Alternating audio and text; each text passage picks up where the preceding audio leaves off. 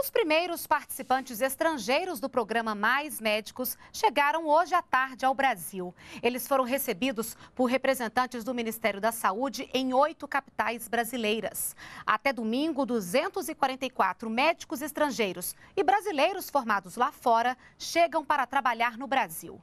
Na segunda-feira, todos os profissionais estrangeiros iniciam um processo de avaliação nas universidades públicas brasileiras. Tiago é brasileiro e se formou em medicina na Espanha. Ele chegou hoje a Brasília para participar do programa Mais Médicos e vai trabalhar no Acre. Eu vim por esse propósito de trabalhar para pessoas carentes. Já a espanhola Sônia, formada em Portugal, vai atuar em uma aldeia indígena no Amazonas. Tenho assim um fascínio mesmo de, de conhecer, de conhecer esses povos, trabalhar lá. Até este domingo, chegam ao Brasil 244 médicos formados no exterior.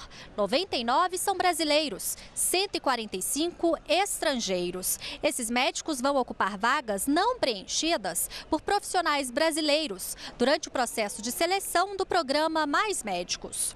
A partir de segunda-feira, os 244 médicos vão passar por avaliações sobre saúde pública brasileira e língua portuguesa durante três semanas em oito cidades: Porto Alegre, São Paulo, Rio de Janeiro, Belo Horizonte, Brasília, Salvador, Recife e Fortaleza. Todos eles, a gente estava conversando, têm experiência em atuar ou em áreas rurais ou na medicina da família, na atenção básica, valorizam muito aquilo que a gente acha que é o mais importante de um médico, é o contato humano, o atendimento, ouvir as pessoas, a gente saber que a medicina e a saúde se faz primeiro lugar fora do hospital, lá na atenção básica, perto das comunidades. Eles iniciam o atendimento à população em 16 de setembro. Os médicos estrangeiros têm autorização profissional provisória para atuar na atenção básica no Sistema Único de Saúde. No primeiro mês de seleção, além dos 244 médicos formados no exterior, outros 1.096 médicos com diploma brasileiro